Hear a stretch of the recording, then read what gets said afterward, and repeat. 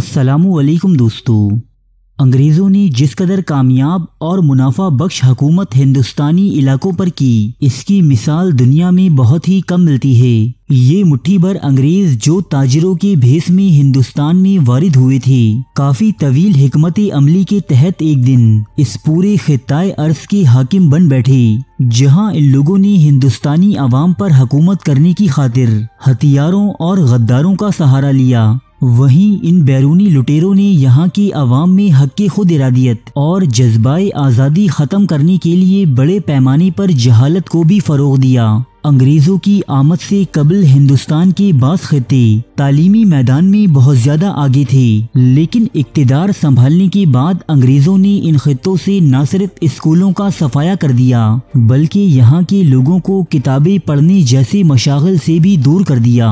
अंग्रेज़ों ने मकामी जबानों जैसे फारसी, हिंदी उर्दू और पंजाबी वगैरह में तालीम हासिल करने को ममनू करार दिया और इसकी जगह अंग्रेज़ी को सरकारी जबान का दर्जा दिया गया। यूँ चंद ही दहाइयों में पूरा का पूरा हिंदुस्तान जहालत के अंधेरों में डूब गया। पूरे पूरे गाँव और शहरों में मुश्किल से चंद ही लोग ऐसे मिलते थे, जो कुछ लिखना और पढ़ना जानते हों। अठारह सौ सत्तावन ईस्वी में छेड़ी गई नाकाम जंगी आज़ादी के बाद, अंग्रेज़ों ने इस बगावत का तमाम तर मलबा मुसलमानों पर डालते हुए कुछ ऐसे इकदाम किए कि मुसलमान तालीमी और माशरती तौर पर हिंदुस्तान में आबाद दीगर कौमों से बहुत पीछे रह गए।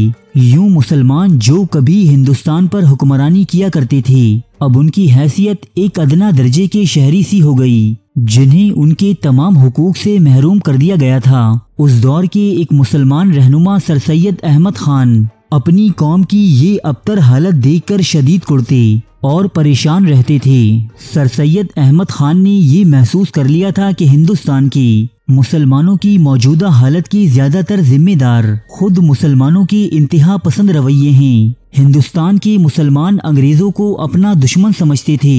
और अंग्रेज़ी तालीम सीखना अपने मज़हब के खिलाफ तस्वुर करते थे। इसके बरक्स हिंदू तालीमी मैदान में मुसलमानों से काफ़ी आगे निकल चुके थे।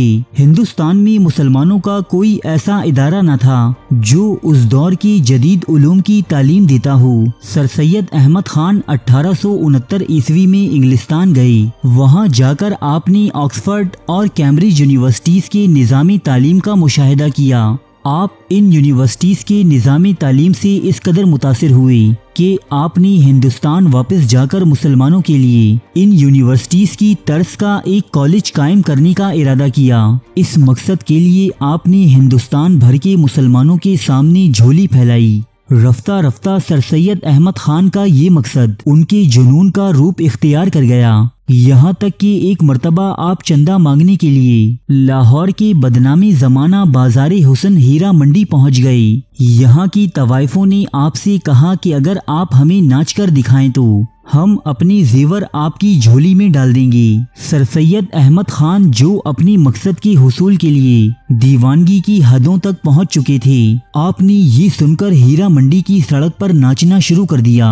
जब तवाइफों ने ये मंजर देखा तो इन सबने अपनी अपनी जेवर उतार कर सर सैयद अहमद खान के हवाले कर दिए। जब ये रक्स और चंदी का सिलसिला खत्म हुआ, तब तवाइफों ने सर सैयद अहमद खान से कहा कि, मौलवी साहब, हमारी कमाई हराम है। आप हराम की कमाई हलाल के काम पर कैसे लगाएँगे?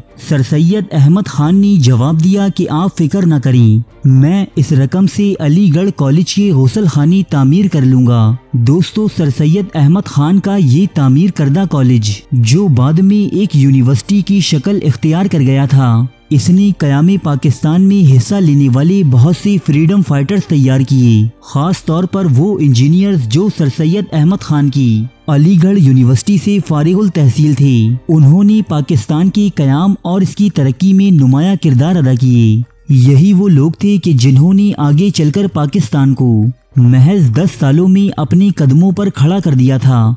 सर सैयद अहमद खान का तामीर करदा ये इदारा आज भी इंडिया के बेहतरीन तालीमी इदारों में शुमार किया जाता है। लेकिन अफसोस कि हम मुसलमान हिंद, सर सैयद अहमद खान के बताए हुए रास्ते पर अमल न करते हुए दौरे हाजिर के जदीद साइंसी उलूम से आज भी कोसों दूर हैं। अल्लाह ताला मुसलमानों को सर सैयद अहमद खान जैसे मुखलिस और अजीम रहनुमा दोबारा नसीब फरमाई आमीन।